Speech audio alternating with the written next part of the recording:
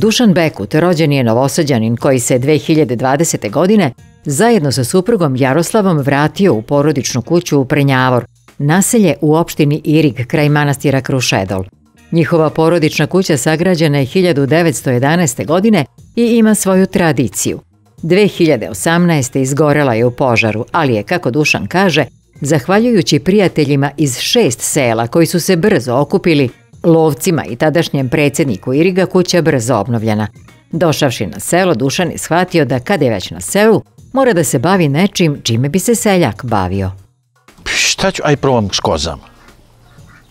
Uzo koza, par, i ono lepo krenulo, jarići, i nakupilo što bilo 18-19. Krenulo i da se muze, da se pravi sir, potpuni lajici, ne znamo šta ćemo. I nekako, ja, Jaroslava se zove supruga, rekao, ako smo već ovo uzeli, mi moramo da počnemo da pravimo. Nećemo da prodajemo nekome sada mleko nešto. Mi ćemo da pravimo za nas, za drugare, prijatelje, pošto imamo vina, ko ima vina ima dosta i prijatelja. I tako da je ta lepo počela priča sa tim kozama i onda sam i shvatio da pa svaki seljak ima i kokoške. I idemo sad sa kokoškama. I počeli smo da kupujemo kokoške, nešto da izležemo, patke, guske. Evo vidite vinograd kakav je čist. To je sve zahvaljujući kokoškama i guskama. One su od prošle godine napravile, eto, čistoću. Dok polako kreće orezivanje vinograda i pripreme za ovogodišnji rod, Dušan kaže da se za to vreme troši prošlogodišnje vino. Kao u pravoj domaćinskoj kući ima i slanine, jer se vino pije na viljušku, te se, kada prijatelji dođu, mora malo i mezetiti. Samo su vina autohtone sorte. Slankamenka, eh, portugizer, plemenka, sve ono što je nekad bilo 100, 200, 300 godina. I zato se trudim da to sve izgleda kao pre 200 godina. Nekako ruralno. Kaže Sremac da je najlepši zimski dinar. Eh, sve se prodaje od kuće. Vino i svinje zimi. Ništa se ne izlazi iz kuće i dočekuju se gosti. Dušan na svom imanju ima jutro vinograda i veoma je zadovoljan rodom. Sad je krenulo urezivanje, evo vidite i voće, tamo su kajsije, počele su da, da cvetaju.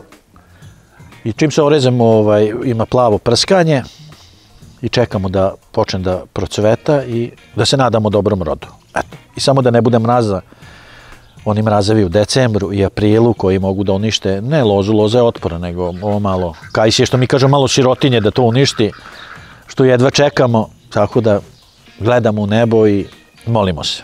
U dvorištu porodične kuće trenutno je pet koza i jedan jarac. Samo imam dve koze iz staroga stada, pošto sam imao dosta, kažem, 18-19, pa sam morao da ih prodam i tako nešto. Ovaj, I sad sam osuo na tih pet mojih. I sad je došlo vreme da se jare. Ima tu jarac koji je tu glavni.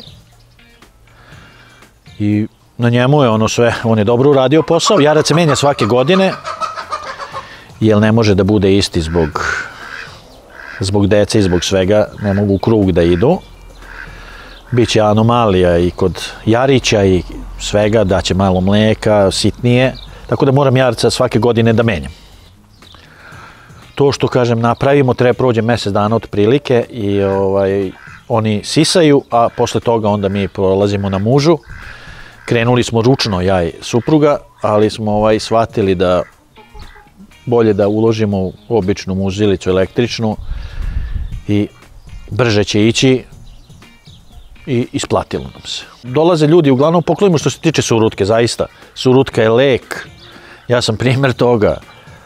Ovaj, što se tiče, bar volim da pijem vina i svega i malo sam se slabo kretao dok sam živao u Novom Sadu, skoro sam se bio zapustio. Ali kad sam došao ovde, aktivnosti, surutka, mleko, tako da mogu slobodno da kažem, efekat je izvanredan. Koze ne bi klali niti prodavali za klanje, slažu se Dušan i njegova supruga. Okruženi domaćim životinjama i svežim vazduhom sa Fruške gore, ovaj bračni par se fino prilagodio životu na selu.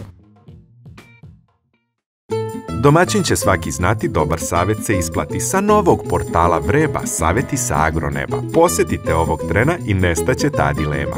agrosaveti.rs Sajt koji nudi odgovore.